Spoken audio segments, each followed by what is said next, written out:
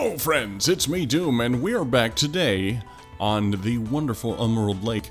Uh, yes, I'm still here for my live stream. That's because I'm I'm getting up money to do the uh, the next step. And I know I said, well, at least to the people in the live stream, that there was going to be a specific fish coming up next, but I figured since I was here and since we learned so many things on the live stream, that we'd check out how to catch walleye at night, which actually seems to be more productive than during the morning. A few of you friends have already figured this out, but we're going to be using my technique for morning at night.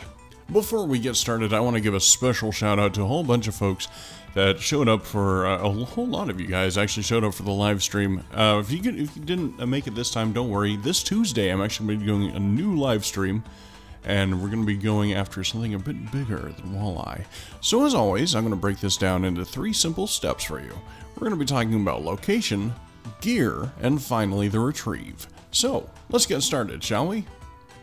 So the location is going to be right here, the Pier of Peace. Nope, Dock of Peace. Sorry, still getting it wrong. No, wait, before we start, there's one thing that you should always do, no matter what, and that's go in and buy the advanced license. Why, you ask? Because, hang on, let me get back to it. If you don't, it's a 2,000 credit fine for catching anything. So remember, don't let the devs get one over on you. So, like I was saying, the Dock of Peace. We're going to be casting out here, and this is my personal favorite spot. It's actually right over here, right where it turns into that nice aqua green. And then, uh, or emerald green, I suppose. Um, there's another spot right here, which I happen to like. And there's another spot that was shown to me by Brian, uh, someone who caught my live stream, and it's right over here. So we're going to be casting out those three locations. We're going to be using the same technique as I do in the morning, like I said earlier, but we're going to touch on that in a moment. Let's go ahead and cover that gear. Now this is my setup. You don't necessarily have to have a Featherlight 7 foot with a Callisto MG, was that 3000? Mm, like, this is literally just minimal stuff. I just wanted to make sure I could get as much XP from these fish as possible so I could hurry up and get to level 40. But whatever you do bring, make sure it can at least handle an 8 pound test line. Make sure that the max drag can handle at least 8 pounds of drag. Um, the, uh, you know, and the, the rod can handle this guy, which is the main component to this. And that is the Narrow Spoon 1 4th ounce number 1 aught. That's this guy right here. And the, the Amolite, in, in particular, the purple one. He's my favorite. Now, when it comes to time, what we're actually going to be doing here is I'm going to be spending a gold or so because I am about right here, and I need to be right here at this nice fat peak at night. So we're going to go ahead, we're going to spend a gold to make that happen. So I was talking to a friend of mine named Sifros who plays this game, and actually he was helping me test out a few things. I asked him to test out a few things, really. And he was like, yeah, sure. So that was cool. And um, he says that they strike more during the early hours of the night versus the later hours of the night. However, during the live stream, we found out they strike just fine at the uh, at the late part of the night. So, perhaps just whenever there's a peak at night, that's when it's best to fish for these guys. It's just on peak hours at night. So let's give this a shot. We're actually going to be covering multiple retrieves today because my original retrieve works. However, there's no, another retrieve, ugh, I cannot speak, that works just as well. It's another thing we found out during the live stream. You guys really need to show up during these live streams. I'm just saying. We find out a lot of things. There's much science done. And it always works. It's just not always what I expect. Alright, so I'm setting my reel speed to a 2 and what we're going to be doing is we're going to start out with a retrieve that isn't mine, which seems to work just fine. So retrieve speed at 2. We're going to be letting it sit there for a minute. And it's going to be a simple one-time lift and drop. So basically, we're going up, we're looking around, we're finding food, and then coming back down. And then immediately, no time at all, look at that. Got a bite going there. I believe, if I'm not mistaken, Mr. Lonzy Gaming um, is the one that inspired me to try this in the first place. Thank you very much, Lonzy.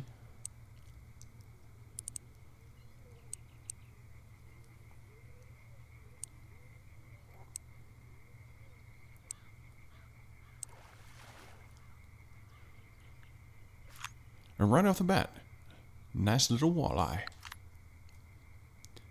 I'm going to be doing two or three of these, and then we're going to switch over to the next retrieve, which is going to be um, the same retrieve as the how to catch walleye video that I already have posted from a few months ago. Remember, key here is to let it sit for a little bit. Not long, maybe about 10 seconds. So uh, I guess we could go ahead and get started here.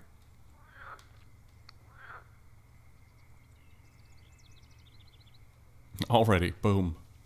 Alright, so now that we've covered that retrieve, let's go ahead and try this other retrieve out, the same one that I use in the morning video. And for that, we're going to switch to a reel speed of 3, and it's just going to be a simple stop and go. Reeling three times each time. There's a bit of a difference on this one, and that is sometimes you're going to have to be keeping an eye on, on the gauges there because there will be strikes that occur or opportunities to make a strike. Like a fish will start carrying it off, and you'll have to pop it up and set the hook and whatnot.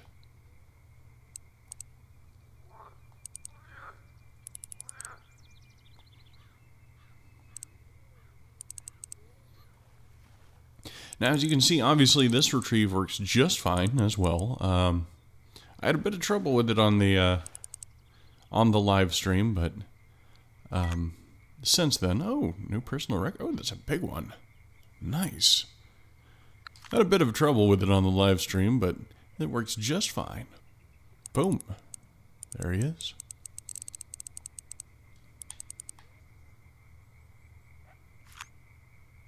Another big one, too. Nice. So this, at night, seems to be the best time to fish for walleye. Um, that's something I didn't know when I made the last video, so my bad. In fact, this is the first video I've done night fishing at all. Now, let me show you some of these other spots right quick, then we'll do a review. So here we are. We'll be right here in the corner. Now remember, these are my spots, and if you happen to have spots that you think are better, that's fine. You don't necessarily have to use my spots, but I like them. So we're going to be casting out at the far reeds, the far light green reeds, and or this large rock with moss on it possibly. I can't tell. It's a little dark at the moment. That's my favorite spot. Now, there are other spots. For example, this giant maple right here, over to the left, right about Nya, at this tree. And then my friend Brian showed me that there's another spot right here. There's a there's a let's see here, the reeds right here, the rock right here, right in between. We're just going to be casting right out into there. Let's go ahead and try it right quick. Let's see what happens. And sure enough, there it is. It's working just fine. Now remember, don't fish too long in one spot because eventually you'll that spot will run out of fish. That is a feature of this game. It does reset every so often. I can't tell you how how often it resets because I haven't quite figured it out. I'd say one real life hour if I had to take a wild guess. Now, something to, uh, another thing to remember is this isn't the only way to go after walleye. You can also go after walleye with, let's see here. That's a bit big. There we go. All right, we're to go with small minnows, a uh, number three on hook, and uh, a large bobber, obviously let's see here. What we're going to be doing those are going to be going to about 70 inches, which is about 170 centimeters, if I'm not mistaken. All right, so we're going to go ahead and use Mr. Brian's spot here, and we're going to do this because there's something I wanted to show you. Because not always does this game make too terribly much sense. As you can see, if you look over at my at my bobber gauge, that uh, the bobber is kind of sideways, and that's because the bait is laying on the ground, so 70 inches is a bit much, but I'll tell you something. It doesn't matter. If it's resting on the ground and it's a bottom feeding fish or a middle feeding fish that looks downwards for prey, then eventually it will be bitten. See, bait was pulled too far away, fish is gone. There was a fish attracted to it, that means.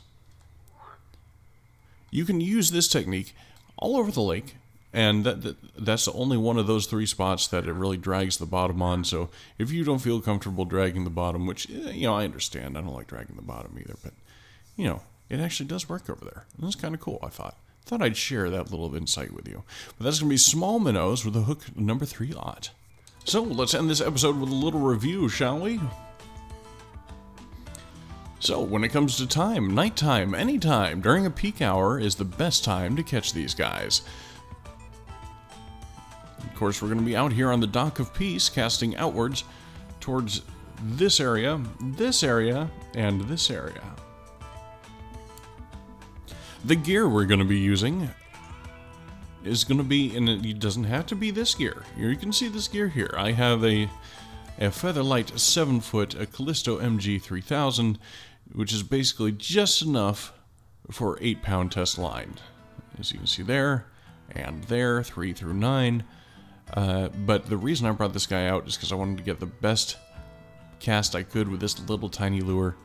And also, it's so light that the experience that it gives you uh, or the fight that it gives you gives you the best experience.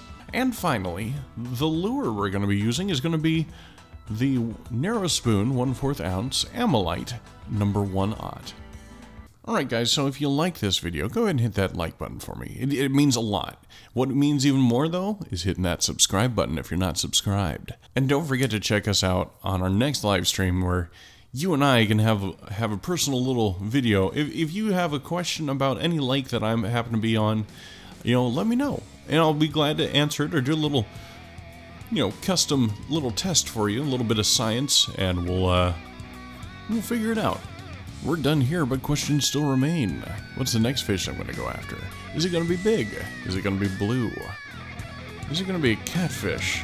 Who knows? You can find out the answers to those and more on the next episode of Von Doom Gaming!